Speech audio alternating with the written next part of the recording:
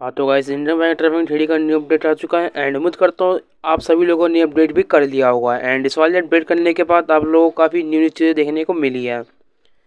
तो गाइस मैं आपको बताना चाहता हूँ कि भाई, हमारी गेम के अंदर एक टेक्निकल इशू आ चुका है। बोले तो भाई, हमारा सर्वर क्रैश हो चुका है। तो गाइस अभी एक दो दिन पहले आप लोगों का अपडेट आया था एंड अपडेट के बाद आपको देखने को मिला था एक न्यू एप्लीकेशन जिसके अंदर आप आप लोगों को सारे के सारे चीट कोड देखने को मिले थे। एंड इसके साथ साथ आपको एक प्लग इन करके न्यू ऑप्शन देखने को मिला था हमारी गेम के अंदर। तो अगर जैसे आप इस पर सेलेक्ट करके अपने गेम के अंदर प्लग इन करते थे तो आपको ये चीज़ अपनी गेम के अंदर देखने को मिल जाती थी। तो मैं आपको बताने वाला हूँ कि अब आप ये चीज़ करोगे तो भाई इंस्टॉल नहीं होगा। सिर्फ़ आपका लिखा हुआ आ जाएगा प्लीज़ वेट एंड ये वेट ही उधर जाएगा भाई। यहाँ पे कभी फ़ाइल लोडेड लिख के नहीं आएगा। तो गैस मैं आपको बताने वाला हूँ कि भाई रोहित भाई ने बताया कि हमारी जो गेम है भाई वो क्रैश हो चुकी है एंड ये प्रॉब्लम आपको तीन चार दिन तक ऐसी रहेगी। उसके बाद क्या पता है भाई कहीं इस पर काम हो रहा हो तो ठीक हो जाए।